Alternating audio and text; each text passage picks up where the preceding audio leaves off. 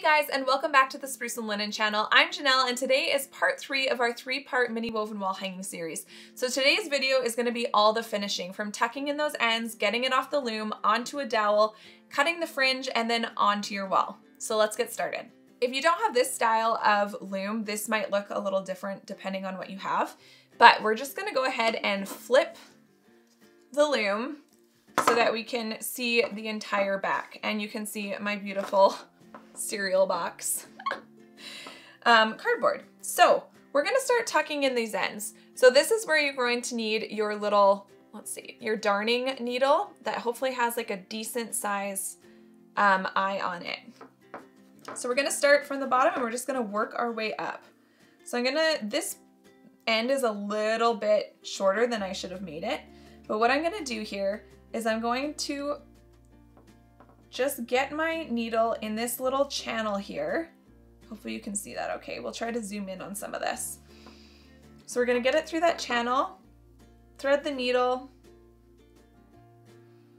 The bigger the eye, the better, but at the same time, when you're going through these little channels, um, a big eye needle can be hard to pull through. So I'm just gonna pull this through, just like that and then you're gonna cut off this end. That is now secured in there. Just make sure you don't cut any of your actual weaving, just cut the end, and that's one finished. So we're just gonna keep doing that with all our yarn ends, and then the wool roving is going to look a little bit different. So on these ones, I'm gonna go down this channel, and because this is the bottom of my weaving, I like to go back up another one.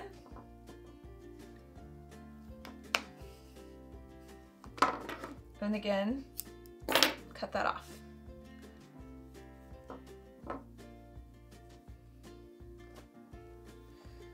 Okay, so let's keep going here. And I just want to mention, this is our prototype of our loom. The um, official one won't need washers, I'm hoping. So just keep that in mind. This is what we call the dark side of the loom. because it's usually quite messy. This weaving doesn't have that many ends to tuck in, so it's not so bad. So I always like to go through about three strings as my little channel here.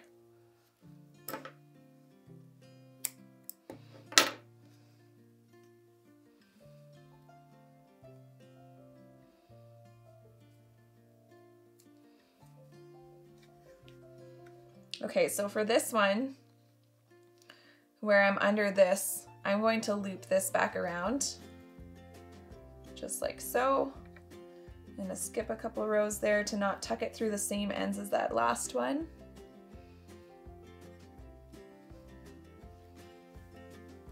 And you just wanna make sure that you're only going through the strings on this surface, not all the way through the other side, because then it's just gonna be a loop over top.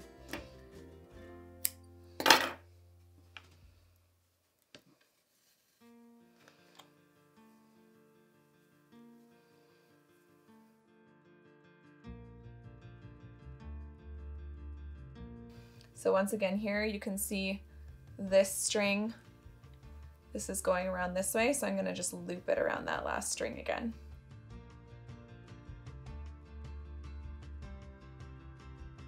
I never like to loop these around the very first row simply because when you cut that end off, there is a chance that it could just like wanna fall over to the front and then you would see it, which we don't want.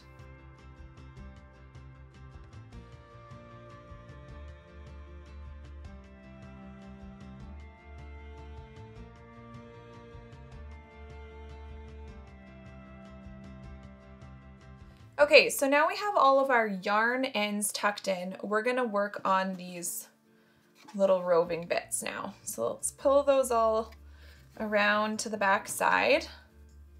And all we're gonna do with these is we're gonna tuck them back under these strings, just a couple in. So again, you can use, you know what, let's just use the, I'm gonna use the tapestry needle for this one because it seems like it'll be a little bit easier. So I'm just gonna go under those ones. I'm gonna pull it through.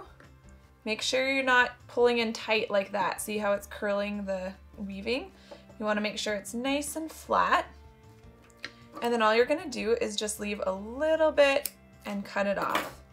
This is fine. You don't need to tuck it in any more than that. It'll stay put.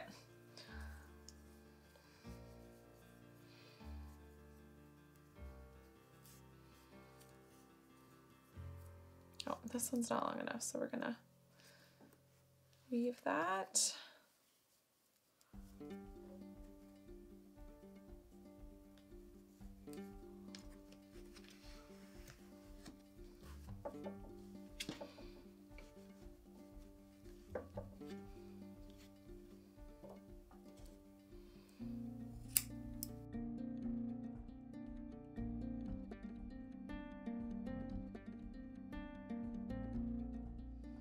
Okay, so now we're ready to tuck, to tuck the ends of our sumac stitch in. And this, I like to use my fingers instead of the needle. So you're just gonna grab those two and tuck it under there. Tuck it under a couple more. We've got enough tail, so I'm just gonna go three in and then just snip that off. And again, just making sure that you're not pulling too tight. Sorry, these are rattling. Let's just get rid of those. So you're just making sure you're not um, pulling it in too far to kind of wreck the sides you're weaving.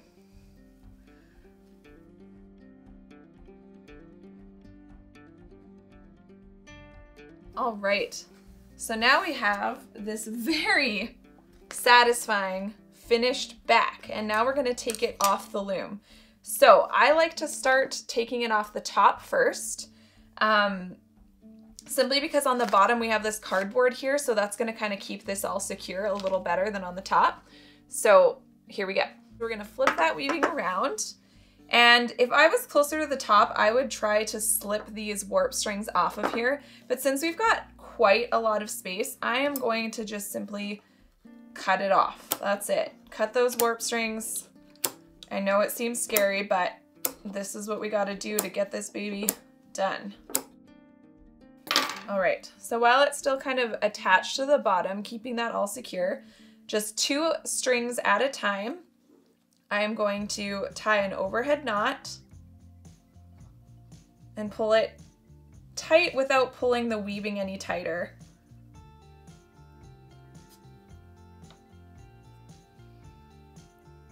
So we're just gonna be doing overhead knots all the way across. Now, if this was a really big weaving, I would literally be measuring these strings to make sure that this is going to be super straight. But since we're working with such a small weaving, I'm not doing that here. You can if you want to to make sure it's straight, but I feel like it's pretty easy to eyeball it when it's this size.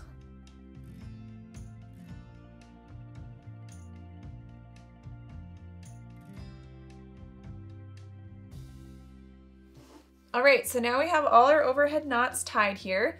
And now we're gonna literally just take this right off the loom. We're gonna put our loom aside.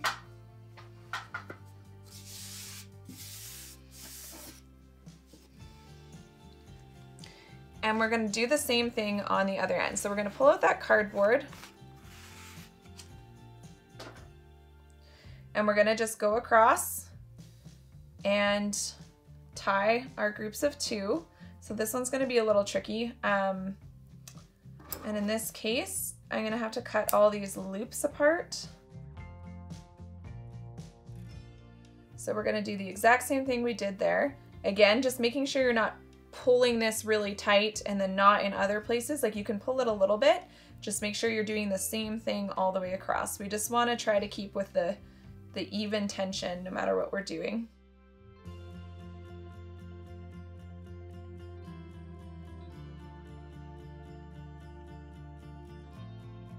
So just one note to make. This is where that um, piece of cardboard you might want to make bigger if you like. If that seems easier for you to tie, then do it that way. But I think we're good here with the amount of string we have. Okay, Cody, I'm pausing because it somehow went into autofocus again.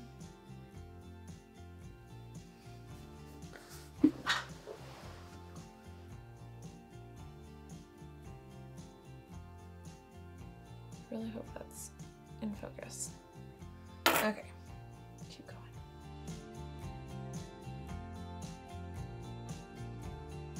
Okay, so now we have both ends knotted and we're gonna go with our darning needle and tuck all of these in. I like to do both the top and bottom and just make the back look really neat and tidy. So just like before, we're gonna go through this channel. We're gonna go through three. That's why I had you do six rows of plain weave there because I like to always go through three for my little channel.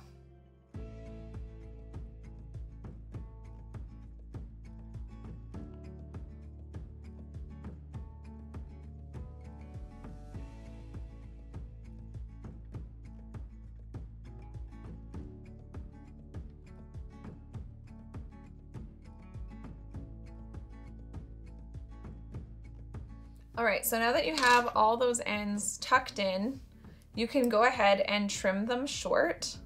Again, being really careful that you're not cutting any of your actual weaving yarn, just those strings.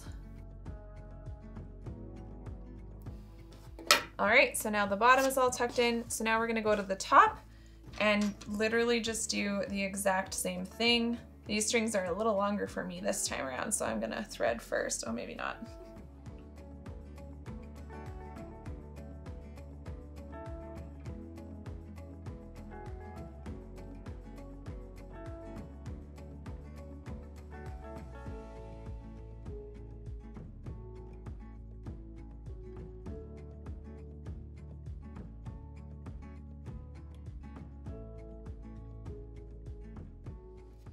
Right, you guys, now we have all of our ends tucked in. And let's look at that beautiful front. See how it's nice and clean? It's looking real cute. So I'm gonna flip that back around now. And we are going to move on to getting this little weaving on a dowel. So once again, I made my weaving about seven inches wide. And so I made my dowel nine inches. Often when I'm doing a little bit bigger of a weaving, I would add even more than that to the ends, but for the purpose of this one, I mean, let's look at what it'll look like finished. That looks pretty proportional to me. So we're gonna work from the back. You're gonna need more of your warp string. That's what I like to use is just keeping in with the same string. And what I usually do is this is a 5 8 inch dowel. You can use whatever size you like. With a dowel about this thick, I usually do about three times the width. Now, if you were using a really wide dowel, you would definitely want to go at least four times the width of that. If you're going really skinny, probably just stick with that three. All right, so I'm gonna thread my darning needle and I'm going to weave up through a channel, kind of like we did here, but in reverse. And what I'm going to do is I'm always going to be sticking my needle between two warp strings, so between these knots. So that way this string is pulling on the knot and not pulling on the yarn, because if it pulls on the yarn, that might look saggy over time. So I can see here that this is where my knot is. So there's gonna be a warp string here and a warp string here and the knot in the middle. So I wanna go between that with everything I'm doing in this portion. So to start this, I'm going to weave through here. I'm gonna come up. Oh, let's just get that wool out of the way. All right, let's try that again. So we're gonna weave through a couple of channels here we're gonna come in between those two warp strings against the knot and pull that through. Leave yourself a tail. Now what I'm gonna do here is I'm just gonna take one of these ends. This is why we didn't cut these off. I'm gonna take one of these ends and I'm just going to tie a knot. Should be tying an overhead knot, but I'm not.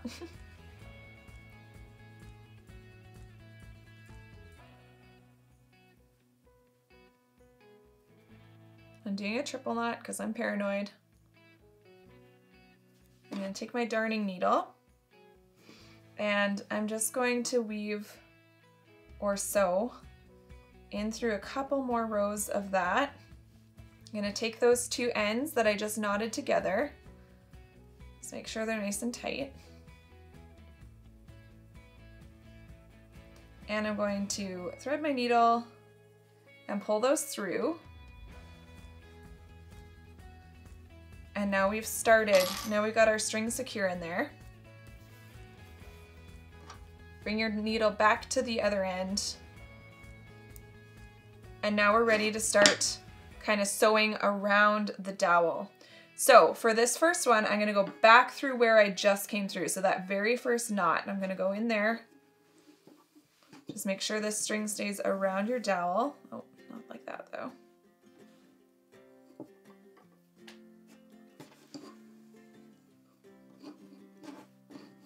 All right, and you're gonna wanna let it be nice and tight. And then I'm going to skip one knot and move to the next knot. So I'm gonna go again between the two warp strings that this knot is tied to. You should be able to tell where the knot is kind of coming from. Oh, and I just unthreaded my needle.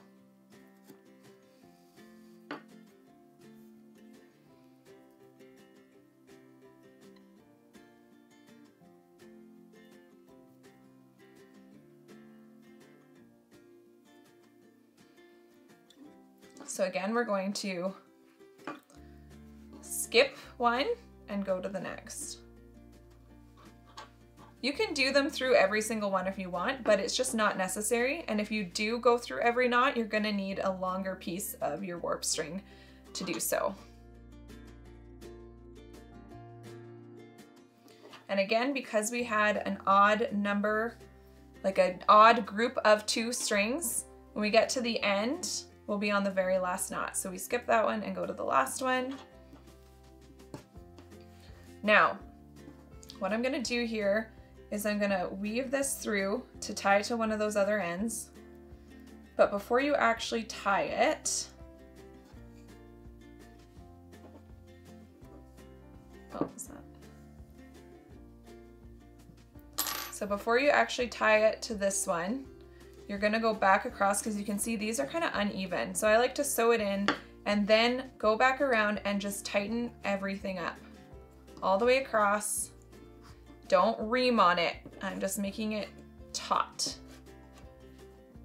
You can see how much excess I had there. So basically I just want to make it so the weaving is actually touching the dowel and not sagging lower.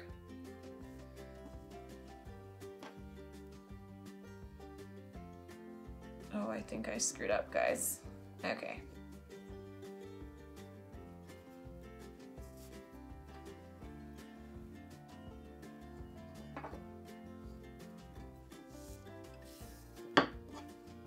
Okay. Well, we all mess up. so I'm to go back through that last knot again because I should have gone back around the dowel my last time. So again, weave that in. A few rows, just not in the exact same channel as this so that you're tying your knot against something. And once again, just tightening those up to make sure they're all taut. And then now I can tie my knot here.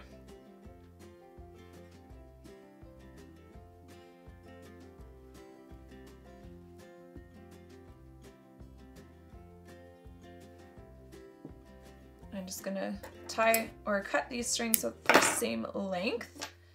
And then like we did on this side, I'm going to weave this in, sew it in, whatever you wanna call it. Just a couple of rows there.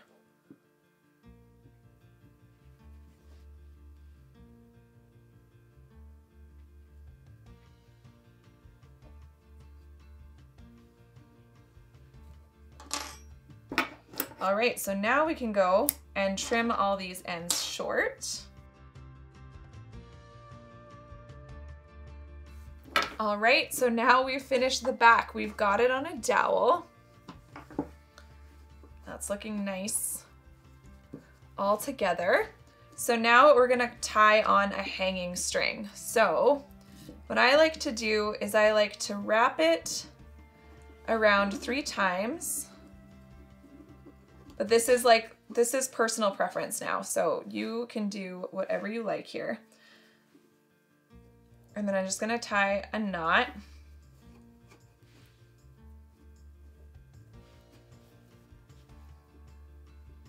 Once again, I'm going triple knot, even though it's not necessary on something so small. Leave yourself a little bit of a tail so that knot doesn't come undone.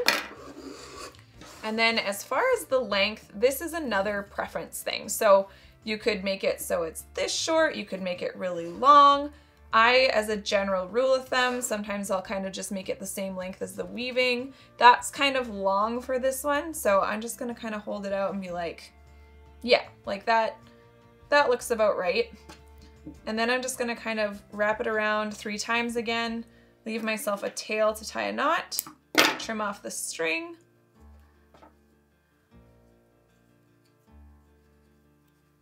And I'm just gonna tie that knot on.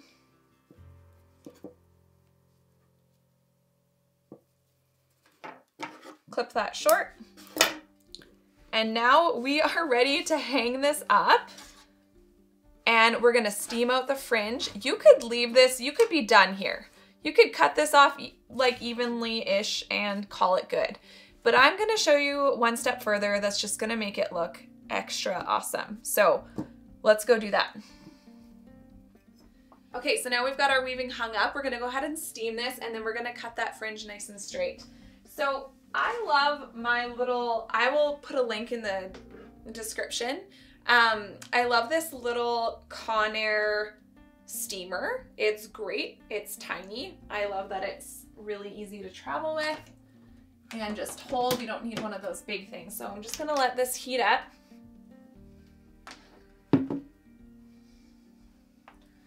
And in the meantime, you can kind of just like comb out that fringe gently with your fingers. Make sure that it's nice and as straight as it can go. But as you can see, like it's it's real kinky. It's like all kinked up from being in that tight little ball. So this is where the steaming will come in, just making it look really, really nice. All right, so here we go. And you're just gonna let it go across the weaving. Normally I would do this against a wall, but I don't wanna wreck our beautiful YouTube wall, just in case. Can you see how much that's just straightening it all out? Making it look a lot more even. It's kind of magic. And then I'm just gonna flip it around and I'm gonna do the back side too, just so we make sure it's all as straight as possible.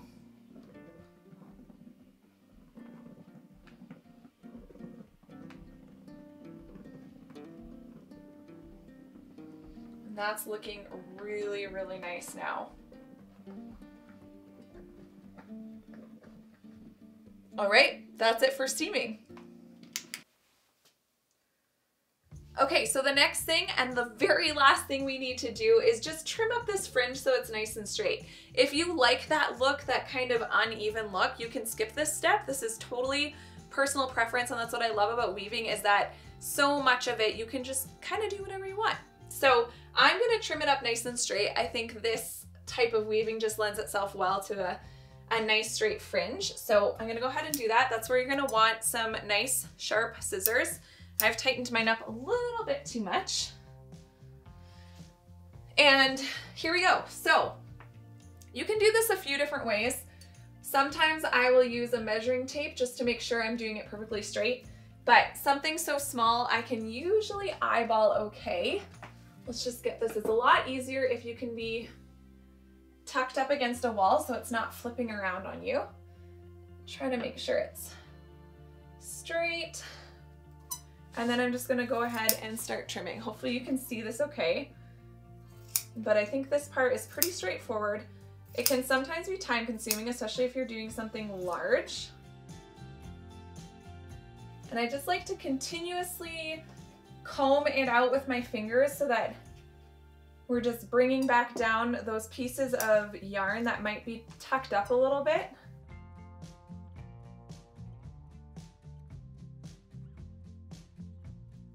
Okay, So I think that's looking pretty good.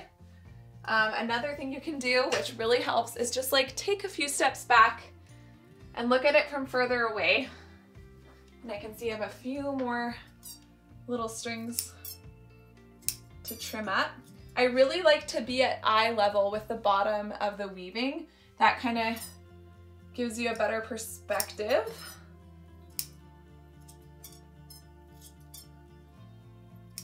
All right. And I think that's it, you guys. I think we're done. Now, don't worry about making it perfect. Again, you can go for that uneven look and even trim up and make it purposely look uneven. Personal preference, guys. That's it. We're done. You did it.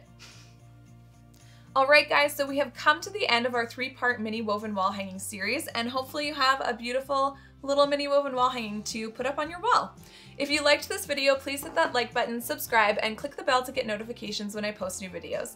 Thanks so much for watching, and I'll see you on the next one.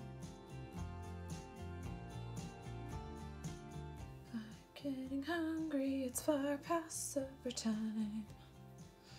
Yeah, yeah, yeah, yeah, yeah, yeah, yeah, yeah, yeah, yeah. Beep, beep, beep, beep, beep.